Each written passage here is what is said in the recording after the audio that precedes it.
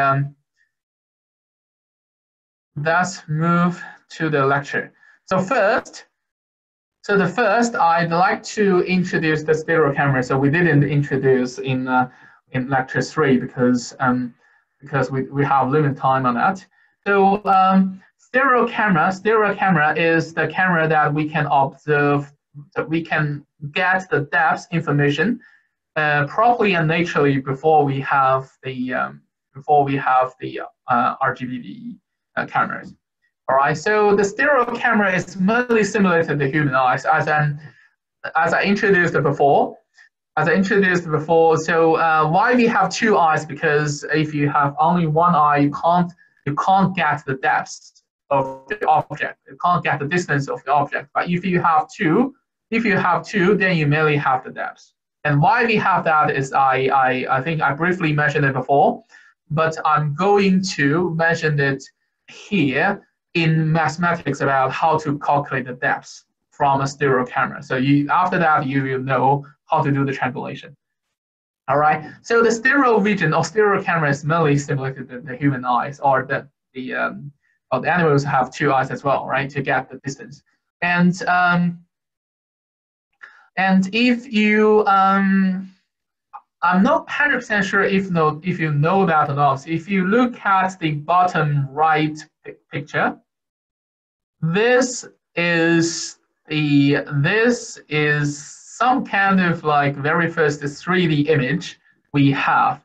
We have this is uh, in a in in the late in 1990s I think. So in that picture, you can see some kind of like two pictures overlaid each other. All right, with some kind of like shift some kind of shift on the on the on the x and y sorry on the x direction right? And it can you can roughly have you can roughly find that so one of the picture is mainly about red and the other the other picture is mainly about left. And then when you when you wear the uh, the, the glasses on the on the right so there is a right glass and um, uh, red glass and green glass on it. And when you wear on it so it's some kind of like a filter, a filter for each of each of your eye. So for your left eye, so there is a right glass, and then it will filter out the green one. So you only see the right image, so the, the, the right image. And um, for the right one, because it's a screen, you can only see the green image. And then it's some kind of like for each of the eye, you can see a different image from the same image. Then, because there is some kind of like movement or the difference between the two images, and you can see the picture, which is 3D. That is some kind of like very initial, very initial like uh, stereo vision or the 3D vision. Right? And the, uh, the principle behind is like similar. But later, we have such shutter glasses. So if you have a 3D screen, and you have a shutter glasses, if you wear it, then you can see a 3D vision from the screen. So I don't know if any of you have been um, have to uh, uh, have been into the data arena.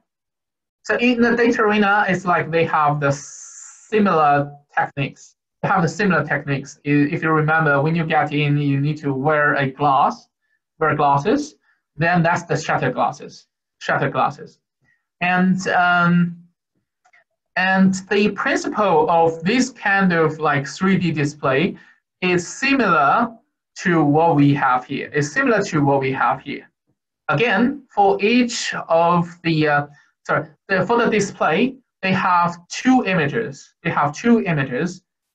And for each of the time, they only display one image. For example, they display the left image when they display the left image, and then the shutter glasses will shut down your right glass, and then to make your left eye only see the left image. And then when it's when it displays the right image, the shutter glasses will shut off the left the left glass, then it, to let you only see the right image on your right eye. And then the, um, the left and right image is displayed uh, one, one by one, one by each other. And then uh, this kind of dis display, there are two things required. The first thing is it must require a very high frame, uh, frame rate of display. It's, it's, it's always about 120 hertz. And also the, the shutter, uh, the shutter glasses, it need to be synchronized. It need to be synchronized to the display. And the principle is similar. To let your left eye to look at your left image, and to let your right eye to look at the right image. Right. So the principle, the principles are similar, and um, because different eyes look at different images, and there are some kind of like differences or shift between them, then you can see the 3D, the 3D uh, view in the display. And there are some auto-stereoscopic display, but it's um it's quite uh, it's quite expensive, but it's like similar. They use some lens on the um, uh, on the screen to let your left eye look at um, only one uh, only left image and right right eye on the um, right image. So it's like similar. It's like similar. It's not that it's not that um, um, commonly used uh, at the moment. So for the most commonly used and this, for the display, so the most uh, the best display, the 3D uh, display one is the shutter glasses. Uh, this is what we used in the uh, data arena. So next time, if you have chance to visit data arena, uh, then um, have a feeling about um, about this kind of 3D display. Okay, so in the in the in the stereo vision, in the stereo vision, as we mentioned before, so the two cameras will get two different images, and two images are different. That's why we can calculate we can calculate the, uh, uh, the distance, right? Because the same object projects on the left and right images are different. Then uh, we can calculate the distance, right? Then this kind of like difference in different images, we call the disparity. We call the disparity. The disparity is the pixel difference in two images of stereo. We call the disparity. Then let me ask you a question. Let me ask you a question. So we have two objects. One is close to the uh, to the camera. The other is further to the camera, right? So which objects cause larger larger disparity?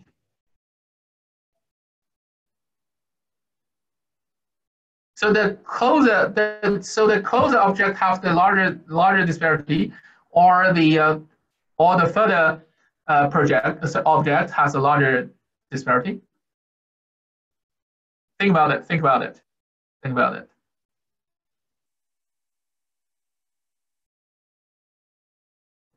Yeah, so the answer is um, if you have object close to the, uh, to the camera, it has a larger disparity. So which means larger disparity indicates that it have shorter, shorter depth or shorter distance. Or small and smaller disparity will have will have the longer longer distance or depth. All right, so keep this in mind and you will find it out uh, correspondingly, correspondingly uh, if, um, uh, if we are doing the triangulation. All right, so keep these things in mind. So closer object will have larger disparity. So which means larger disparity means the shorter distance or shorter depth. All right, then um, for the disparity, we always use disparity map. So for each of the pixel, you can have a disparity, right? So if we can generate an image, and for each of the pixel, it represents the uh, it represents the grayscaled, grayscaled, grayscaled disparity. So that is a disparity map. So which means you have an image, you have an image, and for each of the pixels, is its intensity. And in that intensity is a grayscale disparity you have. And this is what we call disparity map. And from so for for, for stereo vision, for stereo vision, the, the very last step before we have the because uh, before we have the depth reconstruction or point cloud reconstruction is to recover the disparity map. And after the disparity, after you have the disparity map, you can recover a point cloud the point cloud or the 3D point of each of the pixel from the disparity map because you have disparity already. So which means the disparity map contains sufficient information about the depth image, right? So on the, on the, on the top right, there's the disparity map. And on the bottom right, there is a point, there's a point cloud recovered from that disparity map. All right, so that's disparity and disparity map in the um, uh, uh, in the stereo vision. Then let's talk about 3D reconstruction, or we call the triangulation. Call the triangulation. I mentioned it before in the first and second um, uh, uh lecture, but if you remember. So if suppose we only have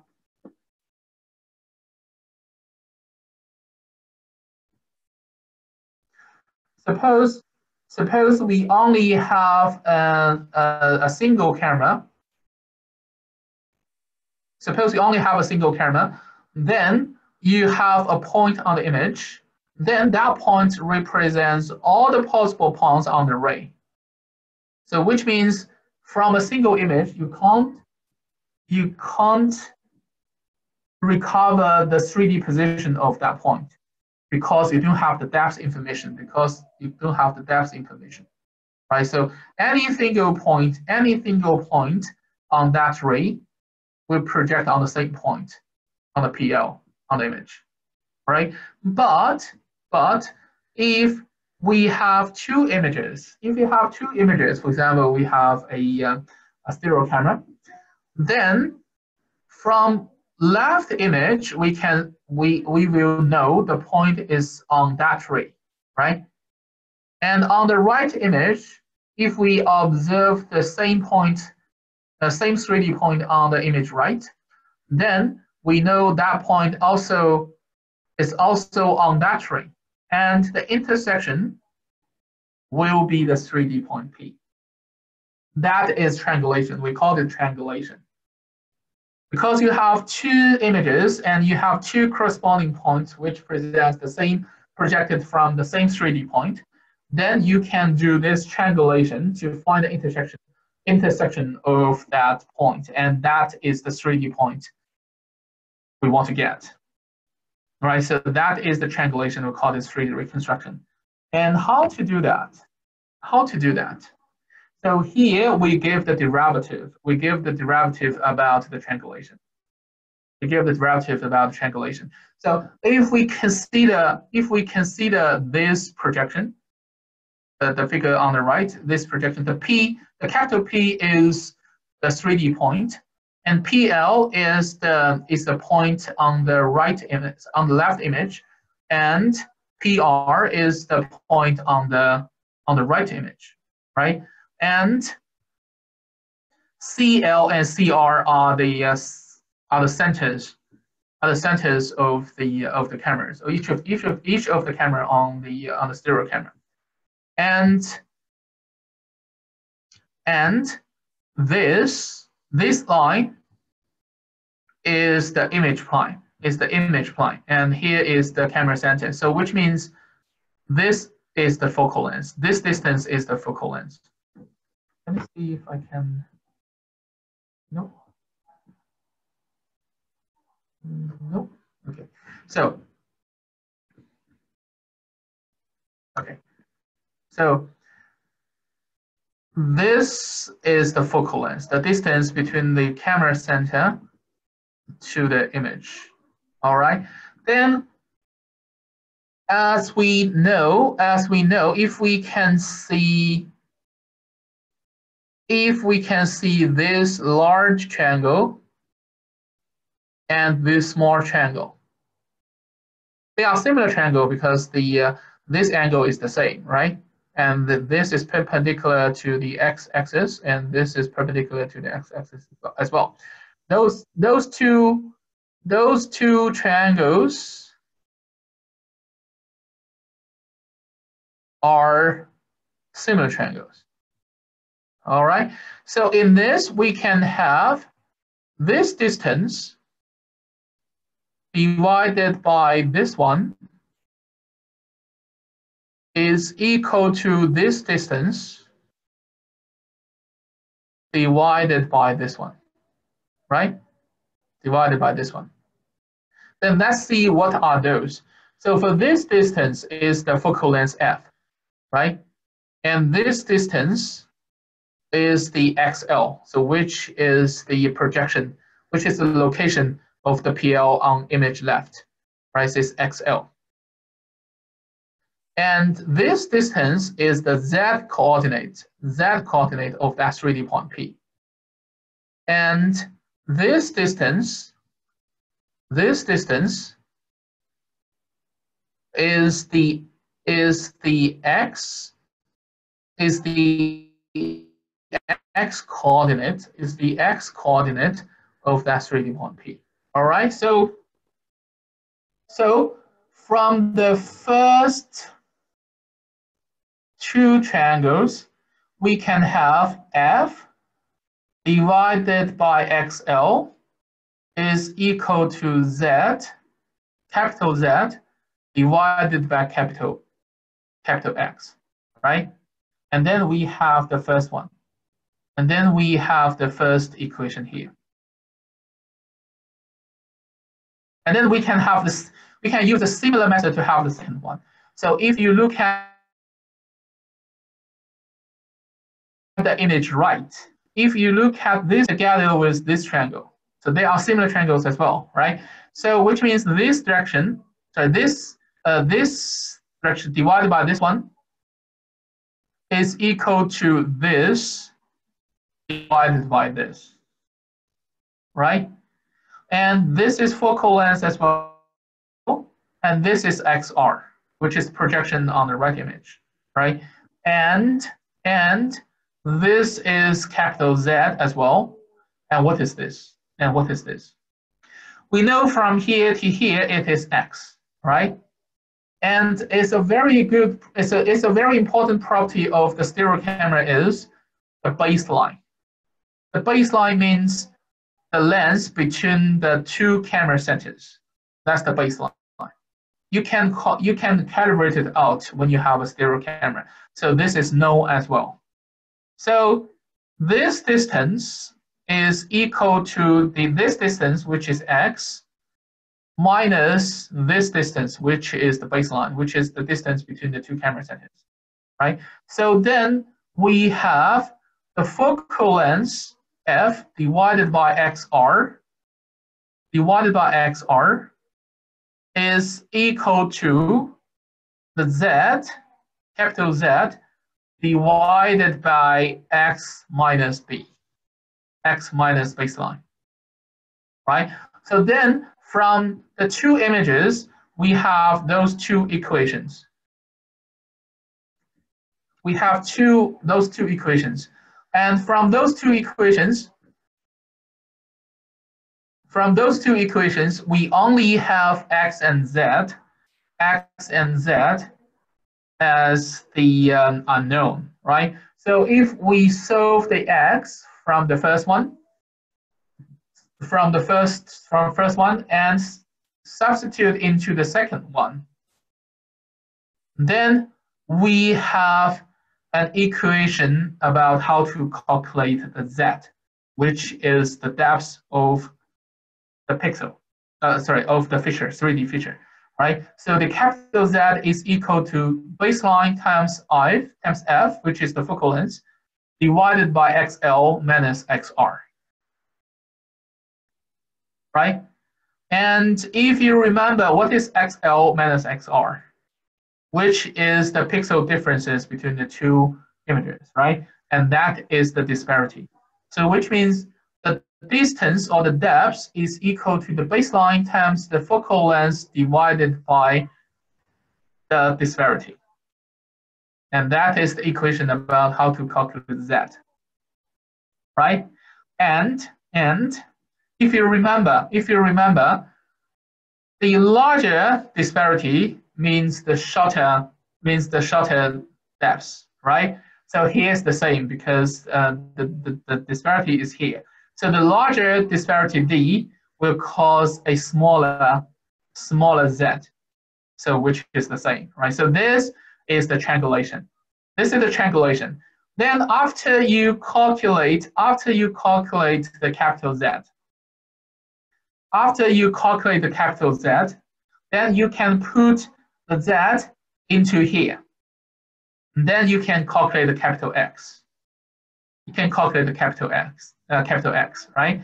And about capital Y. So if you look at this, this picture, this picture only considered the XZ axis, the XZ axis. But if you consider YZ axis, the figure will be similar and the equation will be the same as well. So here it will be y, capital Y divided by capital Z is equal to the YL divided by F. That will be similar to just replacing X by Y. Then after you have the capital Z, you can put that uh, you can put that into that equation to calculate the capital Y as well. Then you calculate X, Y, and Z already. That's the triangulation. That's the triangulation. All right, so any questions about triangulation? The triangulation is super important. It's super, it's super, super important because you are really commonly used a stereo camera. And when you use a stereo camera, then the, the meaning of using stereo camera is, is getting the depth of the, uh, of the pixels. And then uh, this is a way about how to do, how to recover the depth.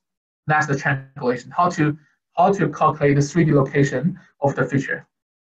All right? All good? Is it all good for this for this triangulation? Any questions? Okay, so something I want to mention here, something I want to mention here. So if you look at if you look at the XL and XR, they are, so the z-axis, if you remember, the z-axis is the camera axis, is the camera axis. And this point is the principal point, is the principal point. It's not the origin of the image. The origin of the image is on this side, right? So this is the z-axis of the camera, so which means this point is the uh, principal point. And what we always have for the UV values of the projection is with the with the uh, with the principal point offset. So which means if you have a point, if you have a point on the image which is 700 and 700, you need to delete you need to delay the principal point out to get your XL and YL. All right, so here is the activity. I don't think I have time to work on that uh, in the in the class. So please do it by yourself. Please do it. Please do it by yourself to let you know if you can solve this problem or not. This is quite important. Again, this triangulation is super super important. Make yourself know how to calculate the uh, the 3D location of the feature. All right. So try to practice this activity by yourself after the class.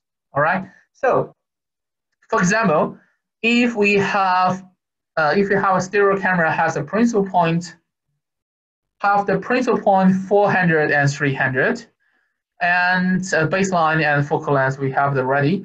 So the, the projections of that 3D point on the left image is 300, 300. The, um, the image on the, uh, sorry, the, the projection on the, on the right image is 200, 300 you are not using 300 and 200 as XL and XR in that, in that equation.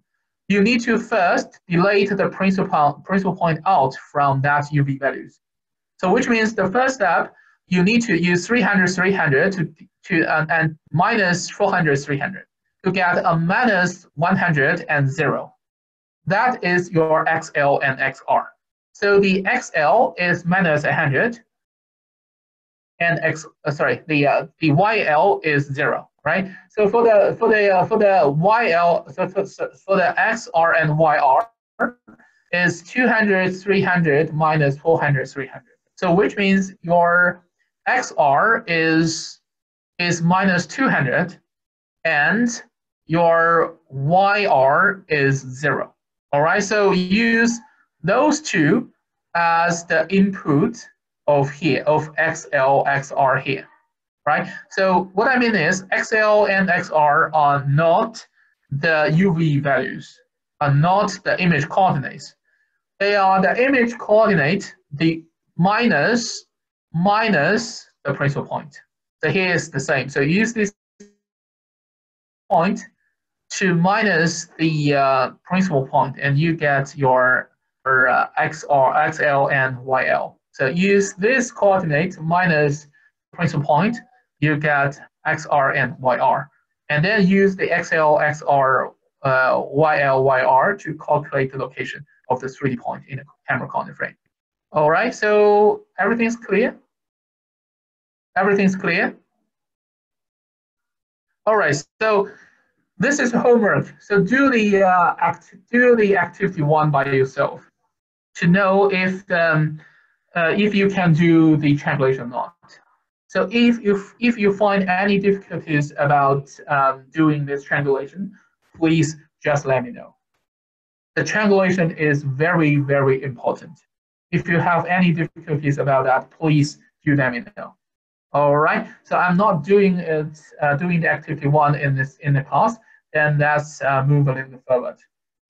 So about applications, the applications of stereo cameras uh, they use a lot because uh, if you remember the RGBD camera, they have some issues about the distance, right? So their working distance are relatively short, but for camera, for camera, for each of the image, there's no limit about the distance, right? So which means if you have a case which include a larger environment with longer distance, which uh, which the um, uh, which the um, the RGB camera cannot cover, then uh, maybe the stereo cameras are your better choices.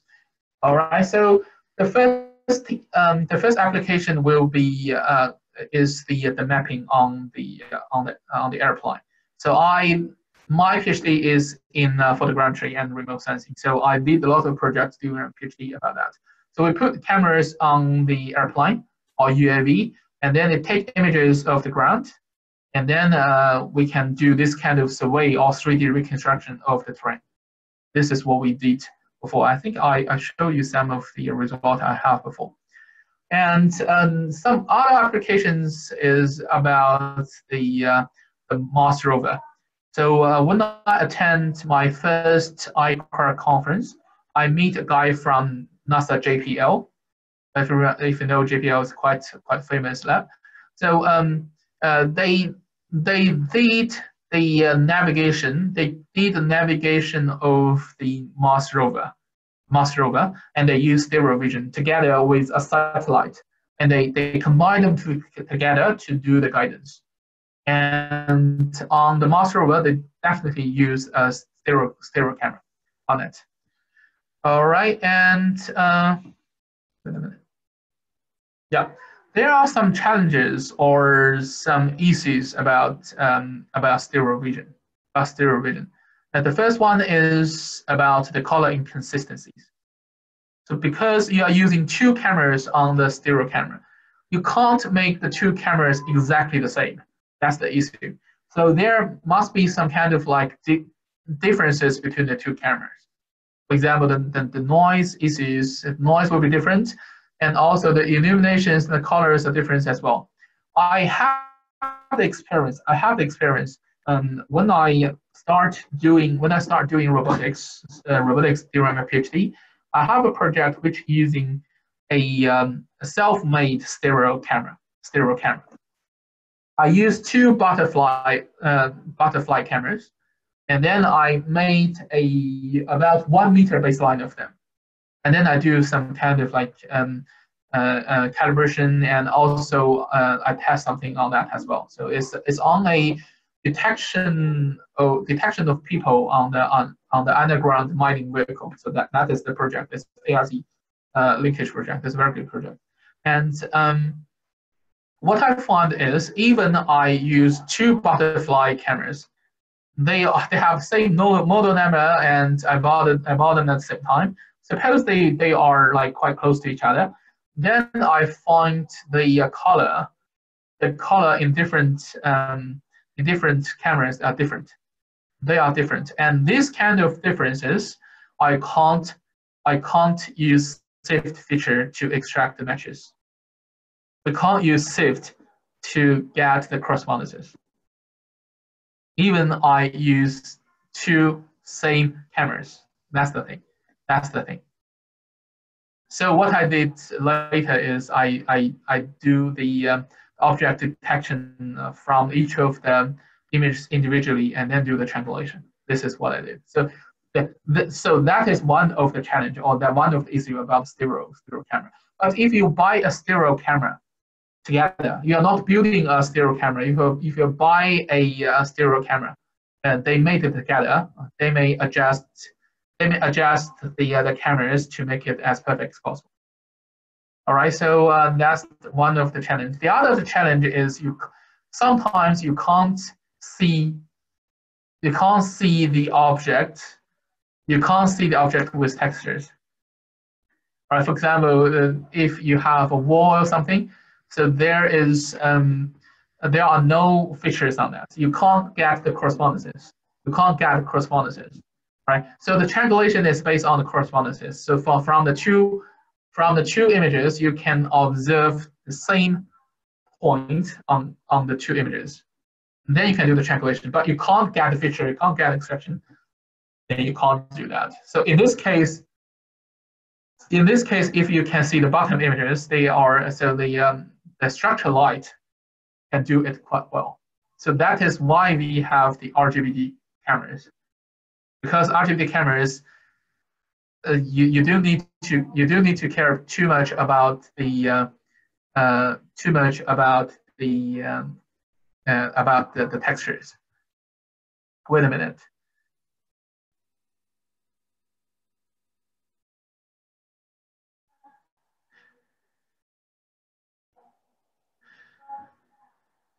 Okay, so uh, this this lecture so this this lecture is about triangulation is uh, is in lecture three. It's in lecture three, and then uh, I will also put uh, this video on the uh, uh, on the ETS online as well. All right. Okay. So let's get let's get back to the um, let's get back to the, lecture. So that's why that's why we are having uh, RGBD sensors because um, it, it is more robust. It's more robust about the textureless, textureless reason. All right, and um, okay, so um, another challenge is about um, is about you can't sometimes you can't see the features in the two images, right? Because you're viewing on different angles, there will be occlusions on the features, and in this case, you can't recover you can't recover the 3D uh, 3D location of that feature that is another that is another another issue, another problems about stereo about stereo cameras, and that's why that's why we have our RGBD cameras. So we've uh, introduced RGBD cameras as well. So um, uh, so uh, if you uh, um, uh, if you are interested in uh, in the stereo camera and also the RGBD camera, so please go back to the to the lectures and also uh, and also there are some hand activities you can, uh, can work with. All right, so that is the second part of this lecture, which is about the art, uh, which is about the stereo camera. Um,